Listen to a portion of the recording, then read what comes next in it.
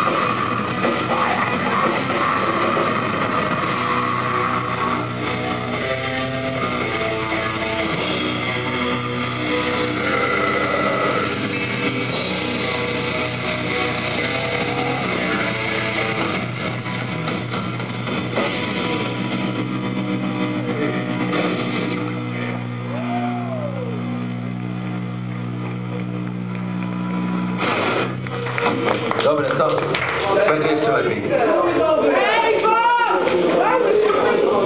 Co, lecimy dalej. Nie złamię się!